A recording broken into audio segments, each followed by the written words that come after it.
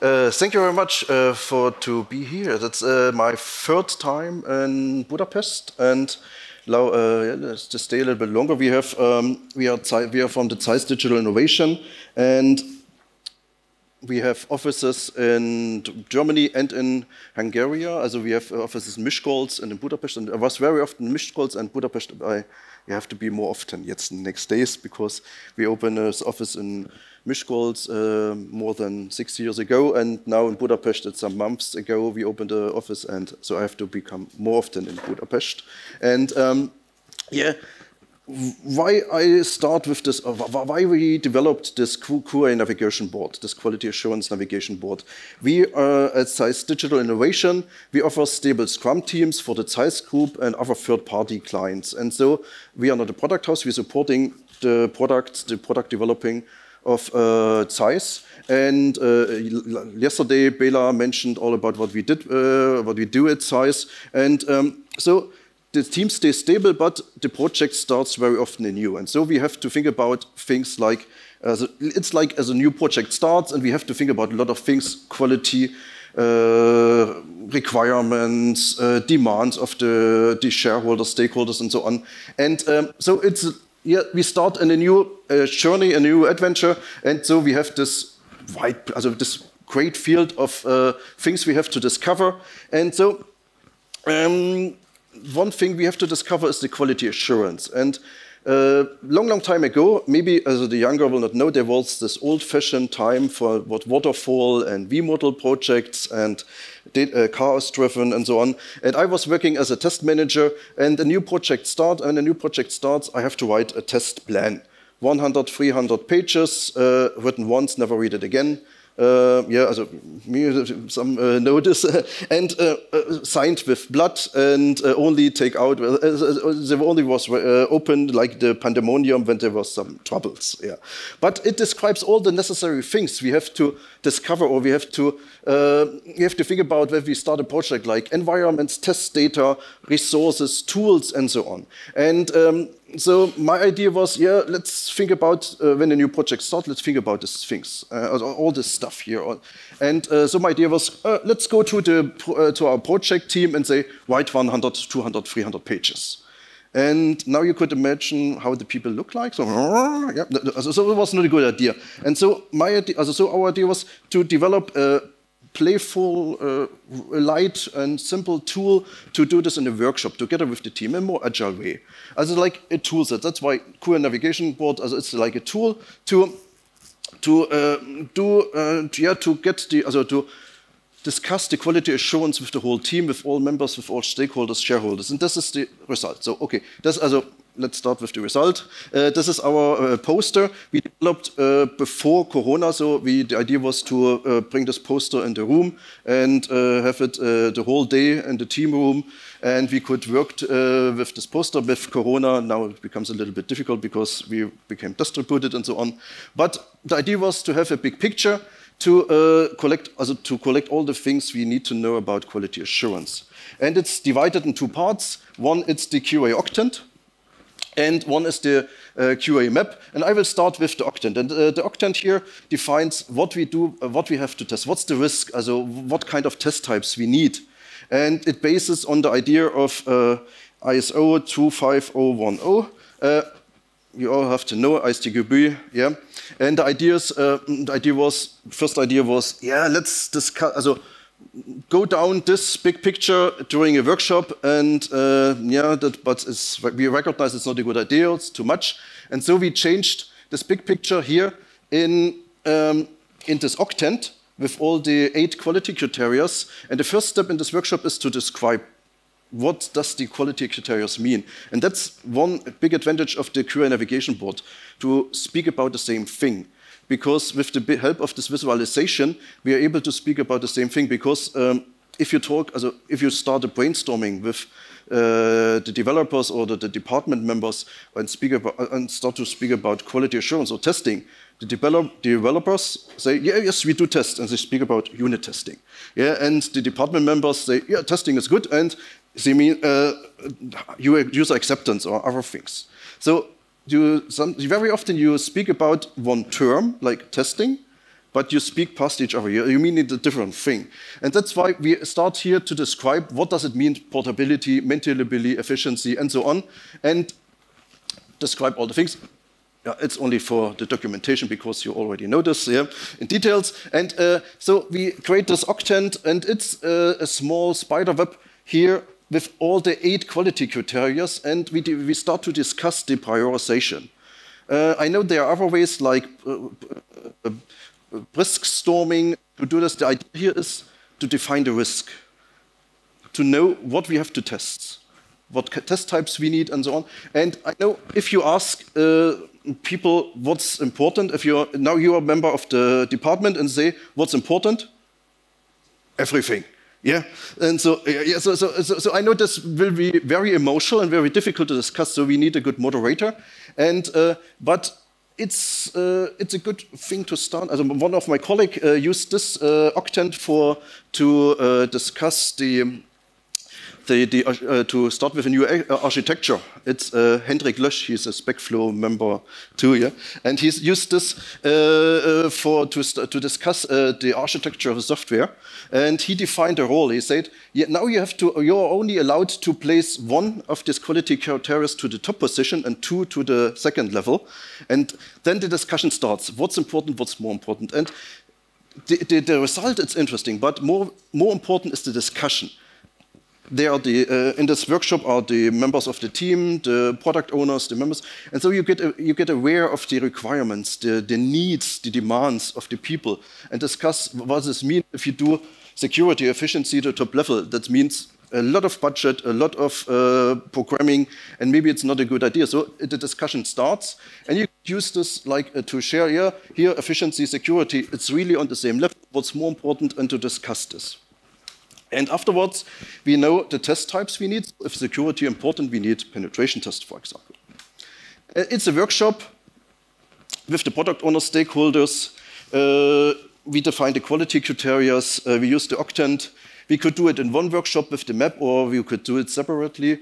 And um, we started with a poster, but with Corona, we used PowerPoint. Also, we prepared a PowerPoint presentation to place it on, uh, in Teams or in, in, SharePoint to work together in the PowerPoint presentation, or we copied uh, this big picture and uh, place it into a Miro board and uh, do it in Miro board. Also, you could do it remotely or in person. But I love to be in person, that's good.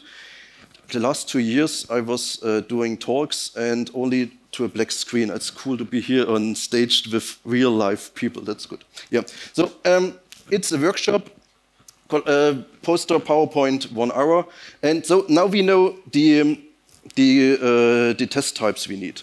And I already mentioned there are other way to define the risk. Uh, if you know another way to define the risk, please use it. There's this tool called risk storming. It's this, with the same result. We, the most important thing is we need to know what kind of test types, what, what risks, what we have to test, what are the prioritization of the different things. Okay. Do you want to take a picture? So should back, go back. Good. Um, now we go to the, uh, the map, and the map is a, you could do it in one uh, workshop, or you could uh, do, yeah, do it separately. But it's the same thing. We, in the in this workshop, the Scrum Master, the team, the PO, the stakeholders involved, maybe the ops colleagues uh, you could ask to join, and you need a good moderator because uh, there so many. Uh, it could be emotional, but you need a good moderator.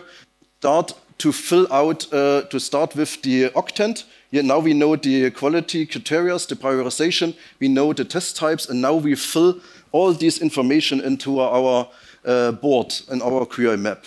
And it's different, it's these columns, also uh, the idea here of the map is uh, I use uh, I ask uh, I ask Hendrik about to give me a small some years ago a small uh, process a picture of the process of for developers like uh, yeah there's all the requirements then there's this coding and testing also could go back. There's the requirements coding and testing. Then we store our things somewhere in GitHub or so and Git um, and then we do build automation things the pipelines and there is the test environment yeah? And I uh, my idea here was to use this small, uh, simple workshop, uh, simple workflow, uh, and let's fill it uh, together with all the members of the team. I know there are similar approaches like the one-page test plan, for example, but I take a look at the one-page test plan and I recognize it's very similar, it's close to the old test plan. And we recognize that it's a little bit uh, this approach was a little bit uh, too much QA, and the developers were saying, "Oh no, it's too much QA, it's testing." And so our idea was here to use this more uh, developing liking way uh, to, uh, yeah, so say uh, it's like yeah a Tro Trojan horse to catch the developers. So so yeah, so let recognize it's not about QA we start where the, also we define where are the requirements, uh, also where the requirements come from, where it's stored. Is it possible to connect the uh, requirements with the test test cases? Um, the next thing, it's this big coding and testing area. It's the test pyramid. I know uh, I love the uh, the agile quadrants of Lisa and Janet, uh, but I recognized um, in one workshop, it would be too difficult to explain it to all the participants. Uh, so I like the idea of the, the pyramid of uh, Mr. Cohn. Uh, so uh, yeah, I use this one. It's, it's, it's a common and everybody knows it. Uh, but we have to explain it. What's unit test, what's service test, what's system test, also the separation. So we start to explain it, and then we fill uh, the testing, our test types in it, and we could mark it with things like, uh, does we have the right skills for penetration tests, for example? We have no penetration tester on our team, so we need support. We could mark it with a spot or with some color and uh, to mark and say, yeah, a, uh, we need it, but uh, we need some skills, uh, coaching or trainings for us. The next thing, it's the repository. Why is the repository on this page? Because, um, yeah, for developer, there's no question about the repository because the unit tests are on the same repository as the testers. But there, if you do manual tests, you have a uh, other, uh, you have um, different repository for your manual tests. One question to the audience: What's the most common and famous tool for manual testing, test management, and departments? Excel. Yes, exactly. Excel. And uh, so, and and maybe to start the discussion, Excel is maybe not the best tool to do manual testing or to test management.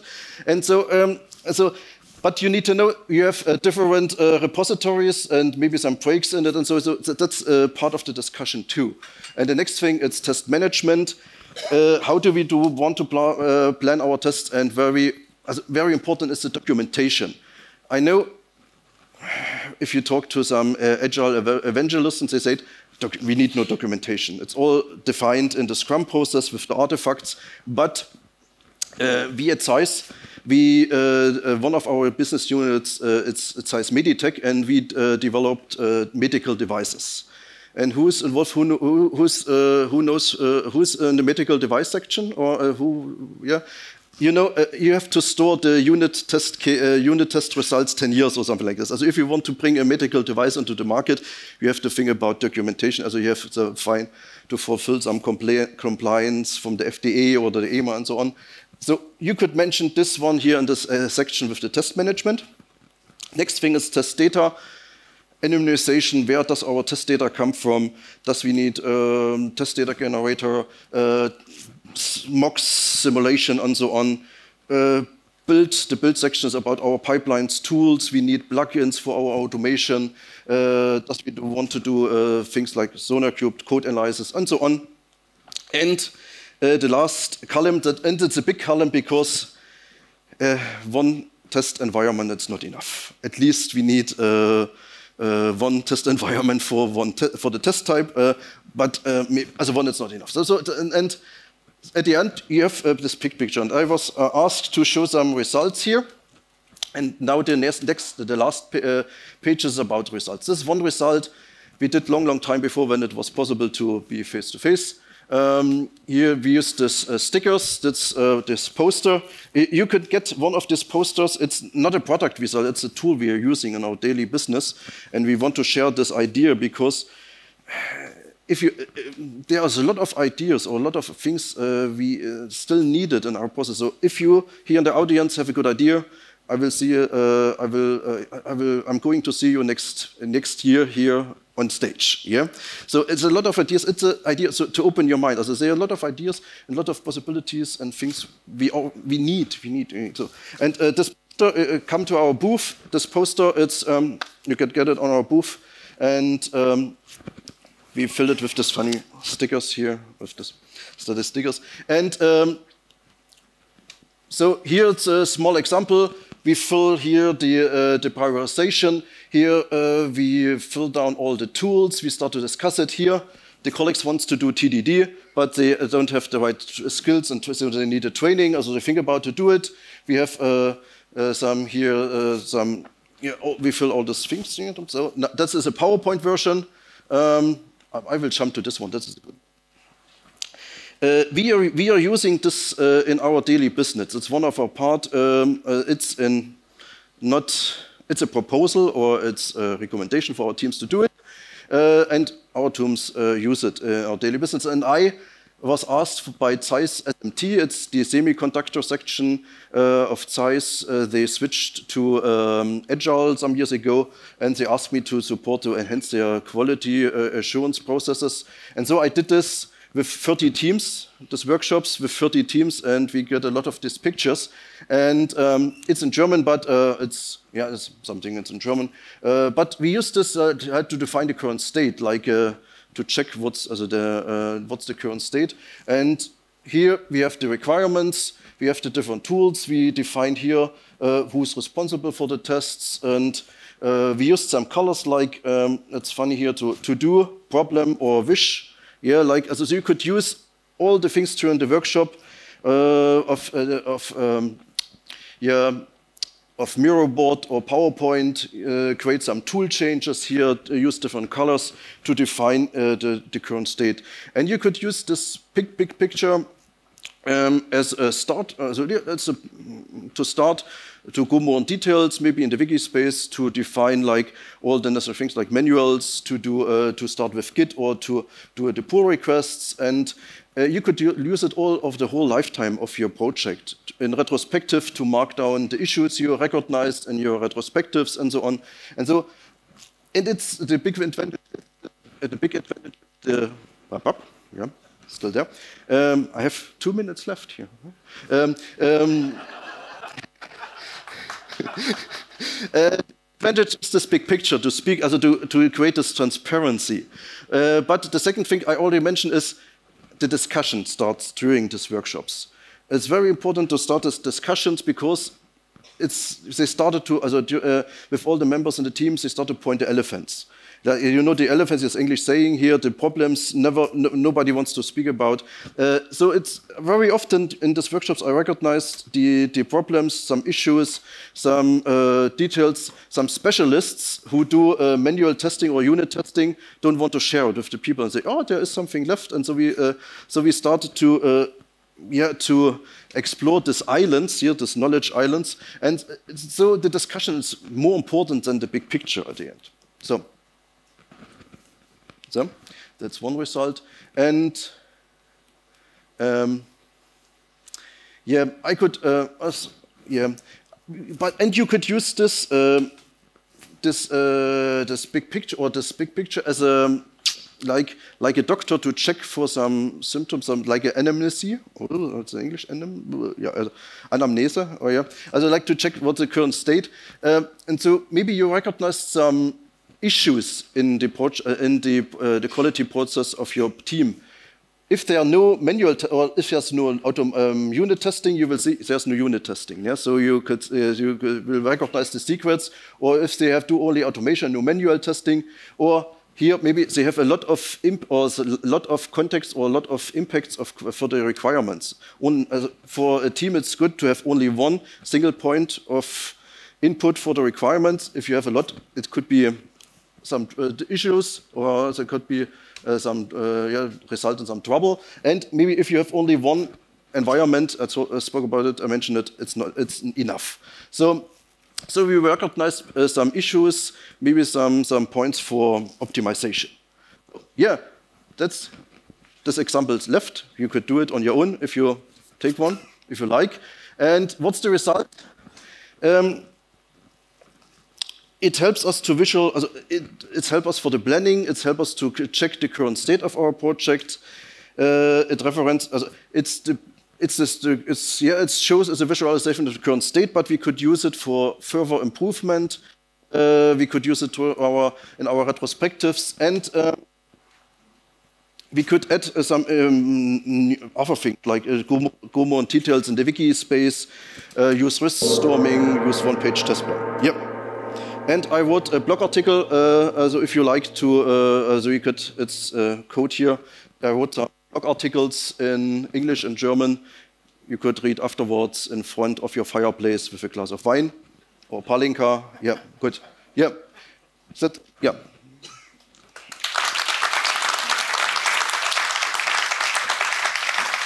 Thank you very much for the presentation. And let's see. So far, we have one question. Based on your experience, how agile is the mentioned QA navigation board? Was there a problem where the client needed a new feature, so QA Octant changed? Based on experience, how agile is the the QA navigation board uh, is um, the, our approach was to bring all the people together to discuss it. Not as in the former old uh, V model waterfall time, there was the test manager. I was a test manager. I was uh, running around, do some interviews, and talk uh, to the people and get all the requests uh, for the quality assurance procedures and write it down in this big test plan. And nobody nobody recognized this test plan because uh, the developers do their own stuff, the testers know how to do the testing, and uh, there was no uh, improvement by this document. And uh, it doesn't change anything. And uh, with the help of this quality uh, assurance navigation board, we want to, do, to bring all the people together. so they, they, do a, it's like use, use the board, the task board, if you change uh, your task or take a task and change it to a new state, you do this, you, you do the commitment to, uh, to fulfill this task. And that's the same thing with the quality assurance part. One thing is to create a transparency, bring all people together, and uh, to yeah to get a commitment of all the mm, participants in the workshop joined uh, to do the, to enhance the quality, to work on the quality. And that's my, point, my opinion, it's a it's an agile approach. Yep. Okay, I think that question is like almost exactly the same. Mm. Um, it, it's maybe the end. Mm. So, was there a problem where the clients misunderstood the QA Octant? Um, dass die Clients misunderstood, um, also the, um, where, where was, where, was there a problem where the clients misunderstood? Yeah, well,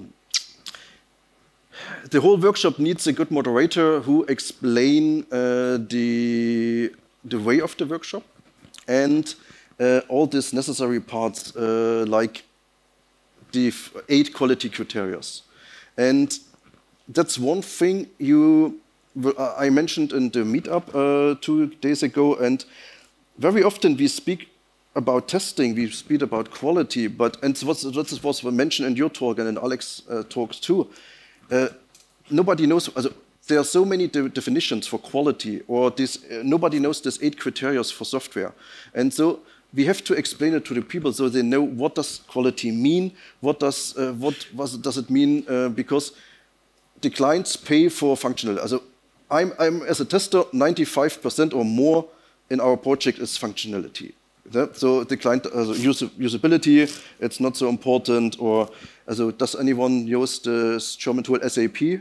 Yeah, also so, uh, so and um, and um, yeah, so uh, we have to also we have to show them what does it mean to be uh, uh, what uh, reliability, maintainability, what does it mean, what does it cost, and we have to speak about, and that's why we have to explain it to have the same to speak about the same thing and to um, judge or to, to set the prioritization. And that's very important. That's why uh, we, we have to start to explain it and then we have to fill it. And very often, maybe we don't follow the standard because this standard, as it is, uh, um, when I wrote this, uh, this blog article uh, and uh, we sent this blog article in German to an English translator, so you want to change the whole phrases for the uh, definition of the, the uh, definition for reliability or maintainability because it's so it's like a lawyer wrote down a sentence, so nobody does understand. But uh, at the end, if you under, if the whole members in the or the whole the participants understand what reliability or maintainability means for you, it's enough. So, uh, and so you have to define it together to, uh, to, under to understand the same thing and to prioritize for you and understand what it means if you do a little bit more less or do it more in one of these different eight criteria.